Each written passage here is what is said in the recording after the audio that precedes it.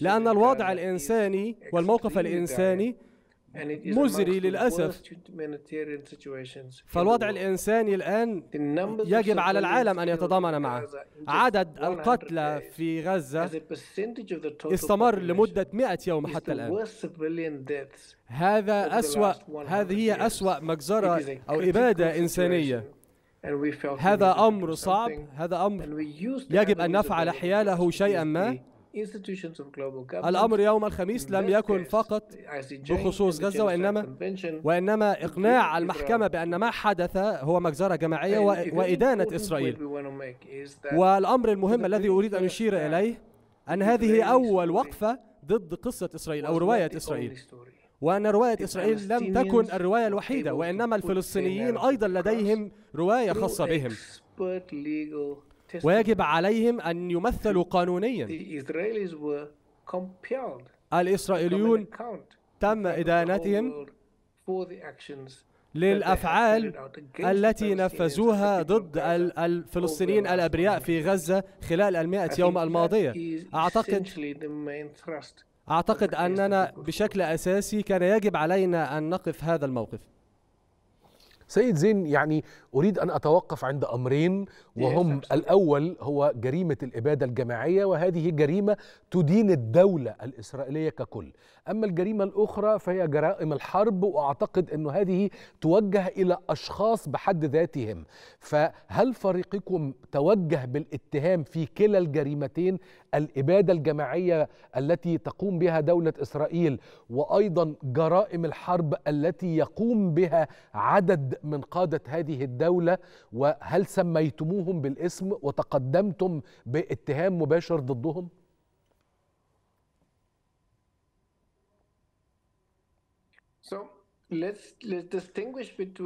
دعنا نفسر هذا الأمر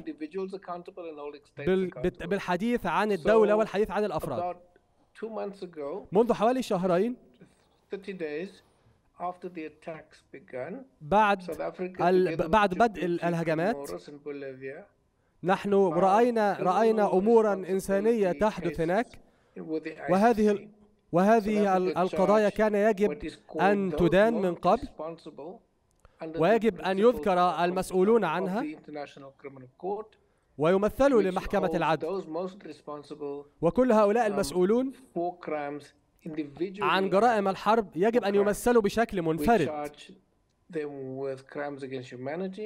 جرائم حرب ضد الإنسانية جرائم حرب وأيضا الإبادة الجماعية يجب أن يدانوا فيها.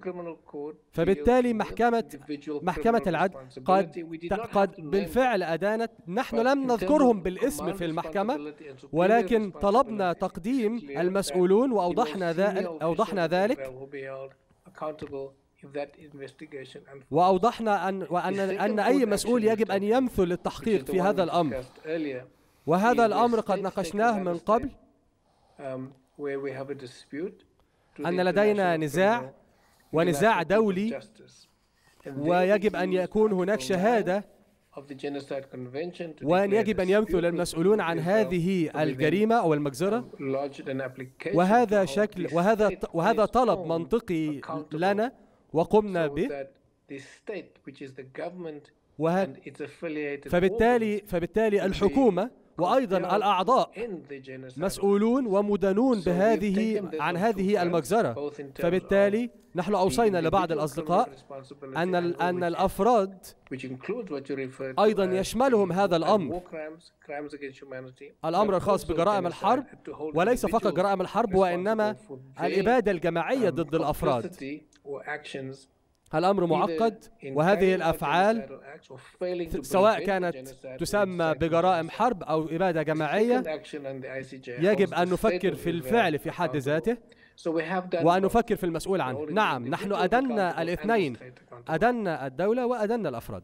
طيب سيد زين يعني أنا أعلم جيدا أنكم طلبتم شهادة آه، بعض من آه، الفلسطينيين مثل السيد غسان أبو ستة الطبيب وهو أحد هؤلاء الشهود. أيضا عائلة نغم أبو سمرة لاعبة الكاراتيه التي استشهدت آه، في الخارج وهي تتلقى علاج نتيجة هذه الحرب. هل سوف تقومون باستدعاء شخصيات دولية أخرى؟ على سبيل المثال فإن هناك اثنين من نواب الحزب الديمقراطي الأمريكي في الكونغرس الكونجرس آه، لديهم شهادة موثقة في جريدة نيويوركر آه، منهم كريس فان هولن ومنهم جيف ميركلي. هل سوف تقومون بطلب المزيد من الشهادات الدولية خاصة عندما تأتي من نواب ديمقراطيين في الكونجرس الأمريكي؟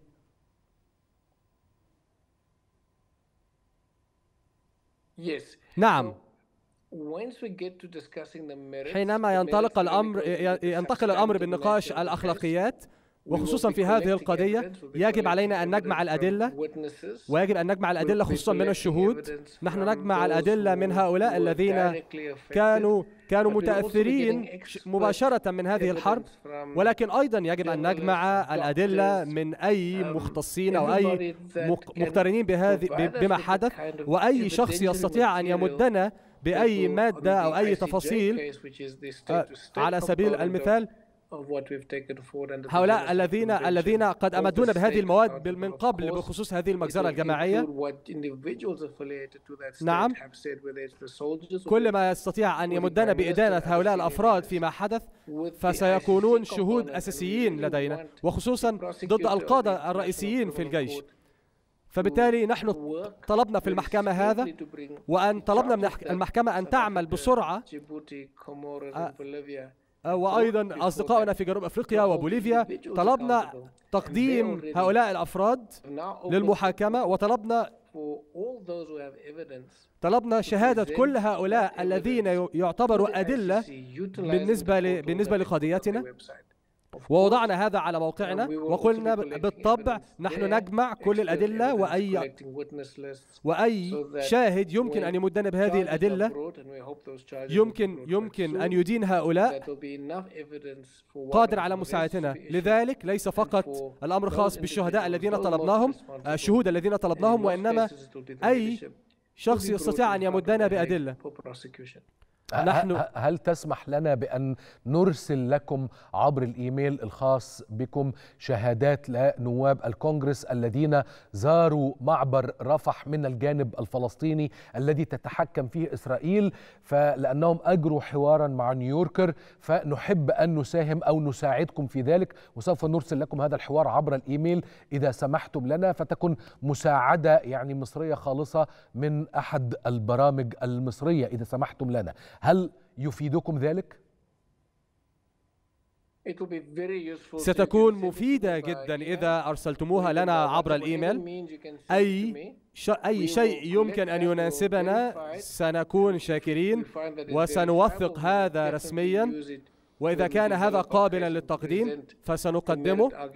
سنق... في في في معارضتنا أمام المحكمة. لذلك شكرا على عرضك. أشكرك. أخيرا أو لا أعلم إن كان هذا هو السؤال الأخير أم لا ولكن يعني بخصوص المحاكمة ماذا إذا تمت بالفعل إدانة الدولة أو دولة إسرائيل بجريمة الإبادة الجماعية؟ ما هو الإجراء الذي سوف تتخذه المحكمة؟ وما هي آلية تنفيذ هذا الإجراء؟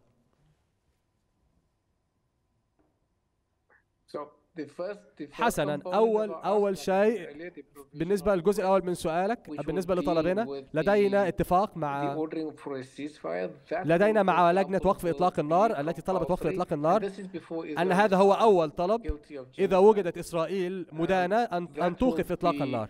وهذا وهذا سيكون سيكون رغما عنهم ولن يكون الأمر مجرد طلب منا. وإذا لم وإذا ويجب عليهم أن يحترموا ذلك لدينا تحد كبير أن ننقل هذا لمجلس الأمن إذا رفضت الحكومة الإسرائيلية هذا الطلب. بالنسبة للجانب الأخلاقي إذا قلنا أن هذه جريمة أو إبادة جماعية سنطلب تدخل دولي بالنسبة للقانون الدولي أن هذا وأن هذا مخالف للقانون الدولي على كل المستويات. سواء بالنسبة لجنوب أفريقيا مصر كل البلاد ستدين ولا تريد أن وكل البلاد لا تريد أن تنخرط في أي عمل خاطئ. يدينها بجانب هذه الجرائم ولكن هذا يعني على سبيل المثال ولكن على سبيل المثال أن هذا الأمر ربما يكون هناك أي تدخل من جانب من جانب الدول ضد إسرائيل إذا وجدت مدانة. وخصوصا إذا لم ترضخ إسرائيل بعد إدانتها. وهذا الأمر يجب أن يكون واضحا. إذا أديرت إسرائيل بالإبادة الجماعية فيجب أن يكون هناك أفعال من من البلاد ضد إدانة إسرائيل. فبالتالي من المهم أن نوجد أولا إدانة إسرائيل وبعد ذلك نطالب هذه الدول باحترام حقوق الإنسان ونؤمن قرار المحكمة وأن يؤخذ على محمل الجد. وأن يوجد وأن يوجدوا طرق لتنفيذه وأيضا نطالب كل هؤلاء المسؤولين عن هذه الجرائم أن يمثلوا أمام المحكمة بتهمة الإبادة الجماعية يجب أن يجب أن يؤخذ هذا من طريق محكمة العدل الدولية فهذه نقطتان أساسيتان وهذه استراتيجية خاصة بنا وفعالة نوعا ما ضد الدولة وضد الأفراد أيضا المسؤولون عن هذه الجريمة.